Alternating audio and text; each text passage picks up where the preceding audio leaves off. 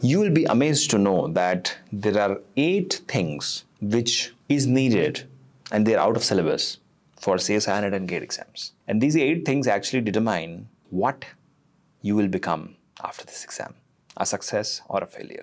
Okay. So I'm going to give you a case. The case is, let's say that you are one kilometer away from the peak of Mount Everest. You have traveled all through from the bottom to the top, and now you are almost there, but your oxygen is depleting, right? So you are like, I have to get to the top, then only I'll achieve success, right? So what should I do? Now, in the absence of a coach or a Sherpa in your case, like you're, when, when you're climbing Mount Everest, you get these Sherpas who will guide you, right? So in the absence of a Sherpa or a coach, you will think that, hey, just one kilometer, right? Even though the oxygen is depleting, let me go, I, at least I'll uh, reach there, right? But then what happens is while returning, your oxygen depletes and then you're out of oxygen and you die, right?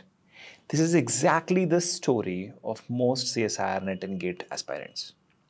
They start with a lot of energy, but by the time they're about to reach that peak in their studies or exam, they lose out of the oxygen right? Now, there are eight ingredients which I can call it as the oxygen of your preparation, right? What are the eight things which is the oxygen of your preparation or performance in the exam? Now, this is amazing, right? Eight things which is not a part of the syllabus, but it is needed by you to qualify. And I can bet no teacher is teaching you that. I'm here to tell you that. I'm teaching students on that because I'm a success coach. I'm not here to, you know, waste your time. I'm here to tell you that these eight things are required first, then only you can start your preparation also. Okay. The first and foremost thing is, suppose you to start a car, you need a key, right? What is that key? That key is called as motivation. Initially, that motivation will be there. Yes, yes, I will take coaching. I will start my preparation. I will study eight hours. But after two months, over that motivation is gone, that uh, energy is gone, and now you are like, I don't feel like studying, leave it. I'll go for a movie or I'll go and go for a job. Right? Majority students do this mistake. But success comes to those who are persistent towards it. I'll give you example. How many videos do you think I make in a day? Apart from running the company, apart from meeting clients, I make more than 10 videos per day. Can you believe that? At this juncture, even if I take leave for one year, still my videos will keep coming on YouTube because I've made so many, right? How could I achieve that? Because my motivation is persistent. It stays every day. I don't miss out, right? It's a ritual, right? So you need motivation. But apart from motivation, the first ingredient is, ingredient is motivation. Second ingredient, productivity. Plan your day, time your day achieve that every day tick mark whatever was your to do right for example 9 minutes from now i have a meeting i know it and you see within 9 minutes i'm going to finish this right? So productivity you have to time your day achieve your day. You are the ceo of your life right? So fire bad habits hire good habits be productive. Every minute counts right? Next third ingredient which you need is time management right? So what is time management? Time management during the exam and time management during your preparation. Many students say that they'll take coaching, they'll be like, okay, now I'll qualify. No, you can't. Sorry, you cannot. How? Why? Because you're not timing your preparation. You need six hours per day of dedicated studying, focused studying apart from your classes, right? And if not six, at least four hours, at least two hours. Are you even giving one hour? I know many of you, you're not giving that, right? And then on the exam day or last month of exam, you'll try to pull in 12 hours. That's not how it is.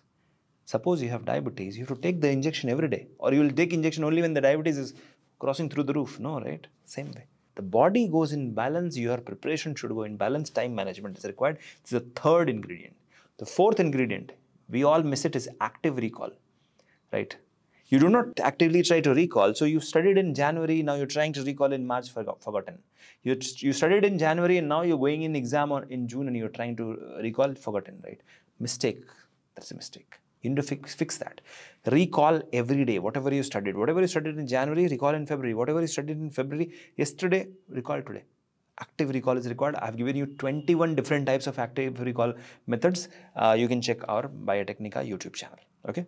The next one is habit management. We all have a habit like, okay, we do not uh, feel like studying, right? Mood nahi hai, and or rather, you know, I don't want to do it. So exercise and studies is a tough thing?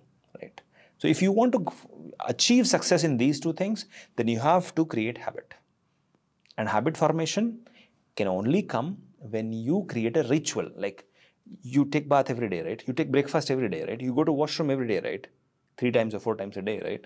Why can't you study four times a day right? So create a ritual that after this i will do that. After this i'll do that. Or before this i'll do this. Unless i have finished this i will not do it. Do the next thing right? This way create a ritual habit this is very much important. Next is failure management. You will fail but it is important to fail in peace in uh, while you are still practicing. So don't hesitate in practicing practicing question. Don't hesitate in asking question. Don't hesitate in solving as many part c questions right?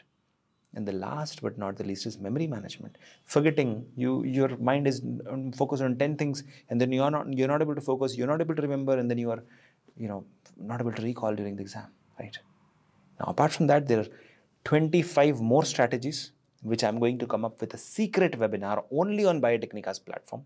It will be on, a, on Zoom and uh, I'll be announcing it in our Telegram group and WhatsApp group. So if you have not joined the WhatsApp group of Biotecnika and Telegram group of Biotecnika, you're going to miss out. So please check that. Link is in the description. Please join it. So these are the eight things which you require apart from, in fact, before even before you start your preparation.